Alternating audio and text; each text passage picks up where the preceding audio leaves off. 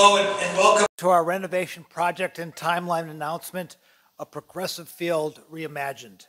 I want to thank everyone for coming today, as well as thank our partners who have assisted us in getting to this point in our Progressive Field renovations. Our lead architect company, Manica, our architect of record, Moody Nolan, our construction manager, Mortenson, associate construction managers, Independent Construction, and the AKA team, plus our partners at Gateway. We're excited to share the projects that we've landed on today, as well as allow us to share renderings of the new elements we plan to bring to Progressive Field in 2024 and 2025. We have called Progressive Field home since 1994, and we are excited to continue to do so for decades to come, thanks to the lease extension we announced earlier this year with the City of Cleveland, Cuyahoga County, and the State of Ohio. Progressive Field has been a great home to our fans and has had some amazing memories, including the most recent walk-off win in Game 3 of the American League Division Series against the New York Yankees.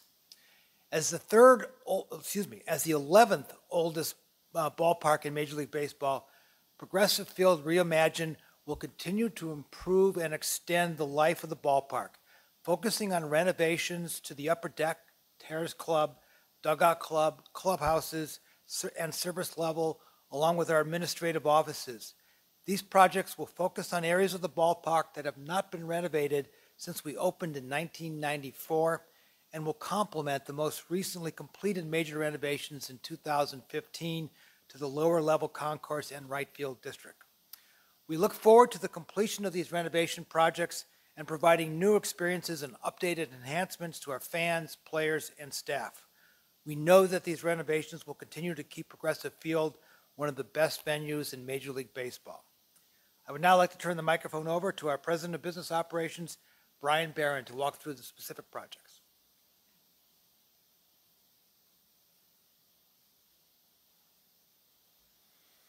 Thanks, Paul, and hello to all in attendance.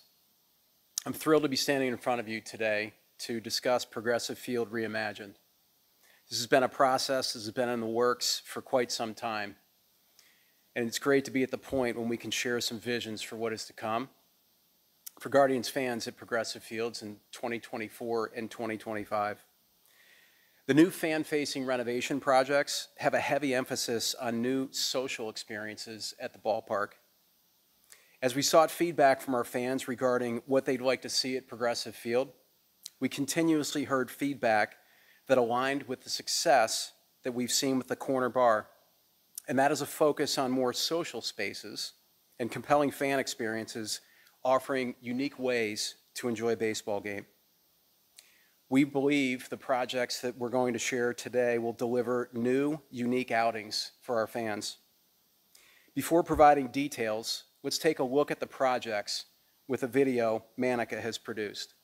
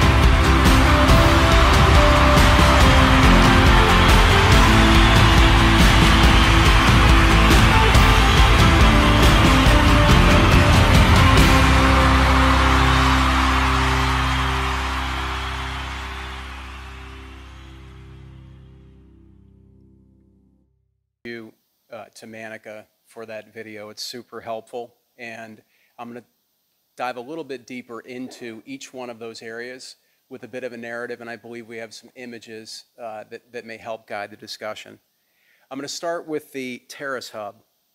The current Terrace Club will be reimagined as an open-air hub with terraced ticketed seating on the 200 and 300 levels with a private club space for those ticketed fans on the 300 level.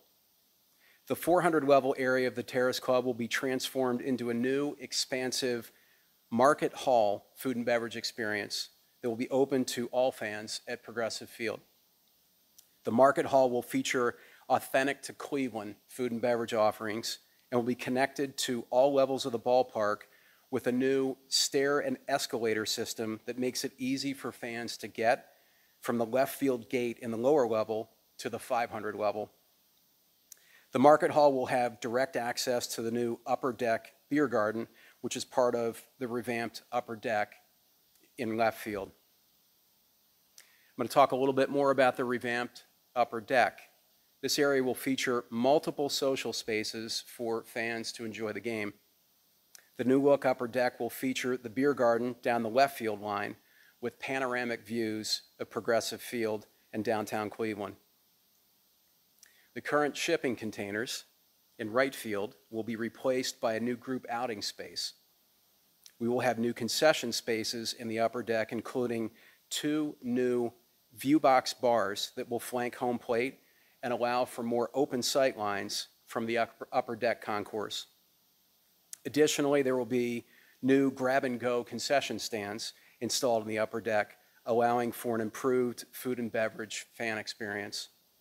The grab and go concept will increase efficiency for fans who want to grab a quick bite and a beverage compared to existing concession stands. Fans will be able to walk in, grab what they want, and check out on their own.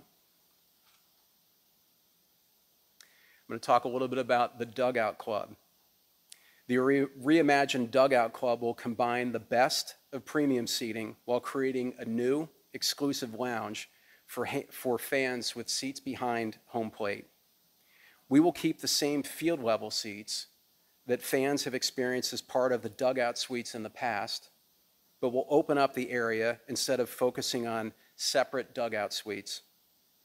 A new dugout club will be built right behind the seats for an upscale VIP experience. The club will feature a permanent bar, comfortable lounge areas, and elevated food and beverage concepts for home plate seat patrons.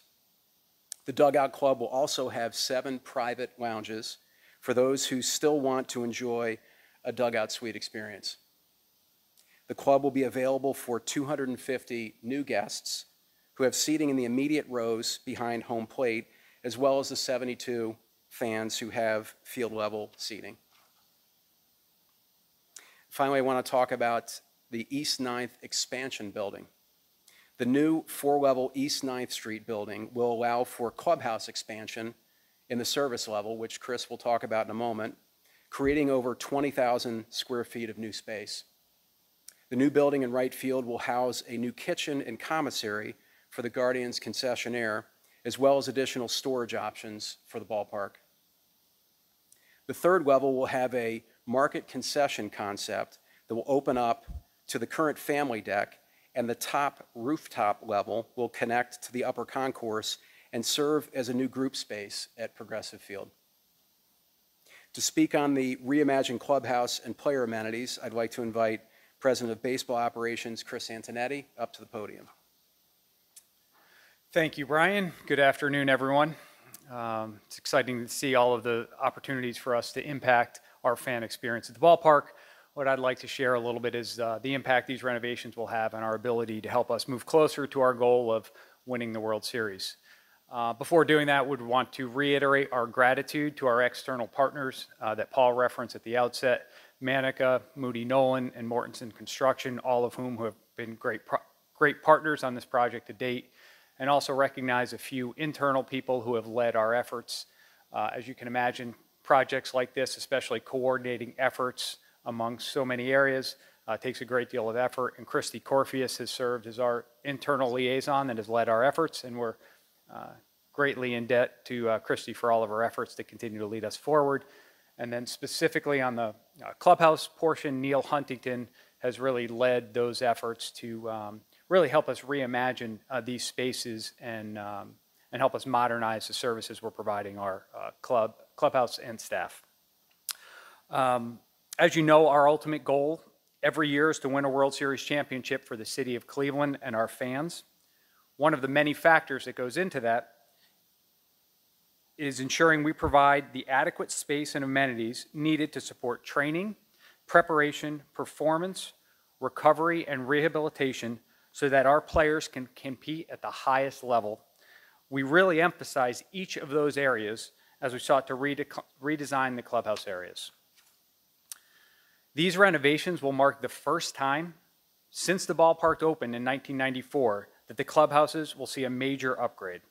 Through these renovations, we will significantly improve our ability to support player preparation, performance, and recovery through expanded and enhanced strength and conditioning and athletic training areas, improved kitchen facilities, more robust technological support for our players and staff, uh, in addition to other improvements throughout these clubhouse areas.